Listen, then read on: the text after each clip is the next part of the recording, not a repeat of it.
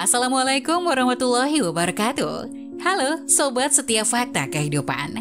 Tidak lupa kami sampaikan salam sehat, salam sejahtera, semoga tercurah segala bentuk kebaikan dan juga kita semua dalam lindungannya. Seperti biasa, kita akan berbagi kisah dari yang unik, menarik, sampai bikin nangis. Mari kita simak kisahnya.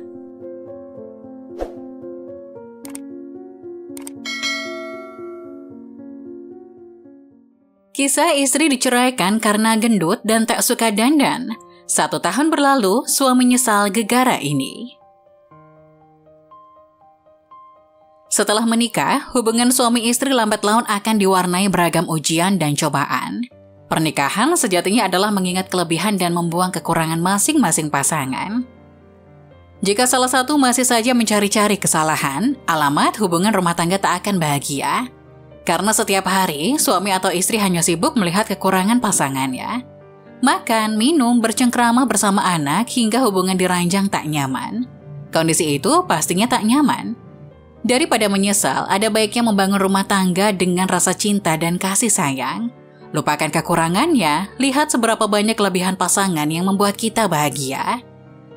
Seperti kisah yang diungkapkan seorang suami di akun Facebook kata-kata kita berikut ini. Kisah penyesalan seorang suami. Aku dan istriku sudah menikah bertahun-tahun dan memiliki tiga orang anak.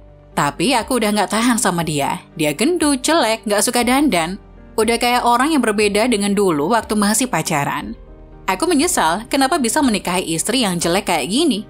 Melihat wajahnya yang berminyak dan rambut lepek, aku udah tahan satu tahun. Aku akhirnya memberanikan diri menceraikannya.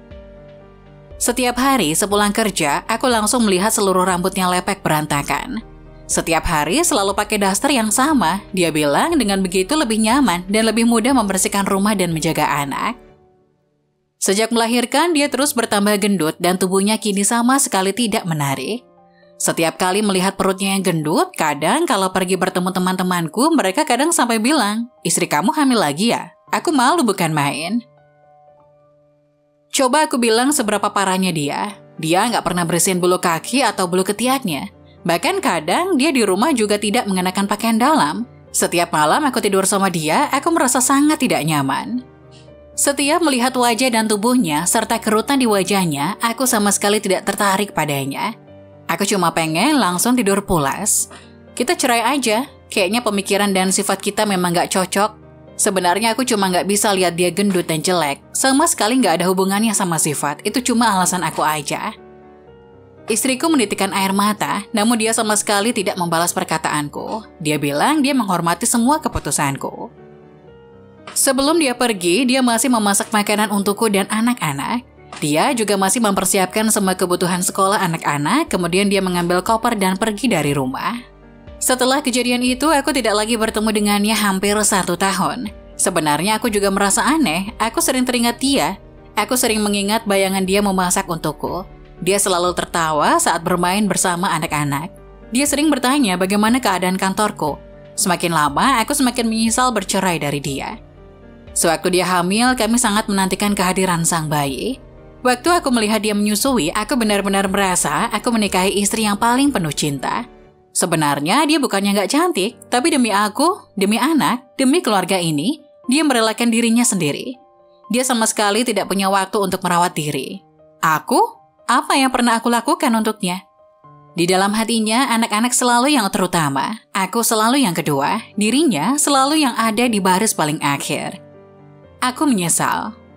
Aku punya wanita yang demi aku rela mengorbankan segalanya. Tapi aku sangat bodoh, aku sendiri yang membuang kebahagiaan ini. Tapi sekarang menyesal juga tidak bisa mengembalikan lagi semuanya. Sampai suatu hari aku berpapasan dengannya. Dia sudah berubah sangat drastis. Di depanku, aku melihat seorang wanita dengan tubuh yang sangat seksi. Dia berdandan sangat anggun. Rambutnya terurai rapi dan itulah mantan istriku. Di wajahnya, dia mengenakan makeup tipis. Kemudian dia tersenyum padaku. Dia sangat amat anggun. Ternyata setelah meninggalkan aku, dia hidup dengan sangat baik. Di sampingnya ada seorang laki-laki. Aku tidak mampu berkata apa-apa. Aku cuma bisa mengangguk dan mendoakan yang terbaik untuknya.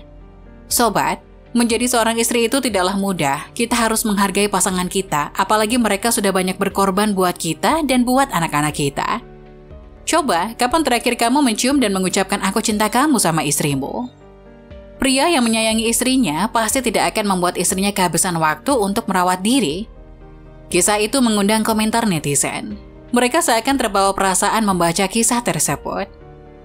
Marni Rahman, semua tergantung suami. Apabila imannya kuat, ia tak mungkin melakukan hal seperti itu kepada istrinya.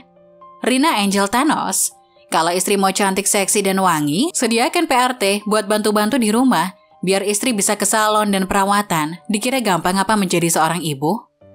Nani Wina, suami itu memang egois, tidak gampang loh jadi ibu, karena tugas ibu lebih berat daripada suami. Asti Harti, kecantikan lahiriah itu sifatnya sementara, tetapi yang abadi adalah kecantikan batiniah yang kita sering sebut inner beauty. Jadi sebagaimanapun dirawat atau perawatan di salon yang mahal sekalipun, tetap aja nggak akan kekal abadi selamanya. Kalau udah datang tua, ya tua aja. Salon atau perawatan itu semua hanya menghambat saja. Toh pada waktu tua, kita semua akan tua.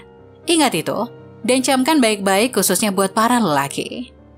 Nuryati aja, Makanya, kalau mau ngambil keputusan harus dengan hati yang tenang supaya tidak menyesal kemudian. Jangan emosi digedein, kan bisa dibicarakan baik-baik.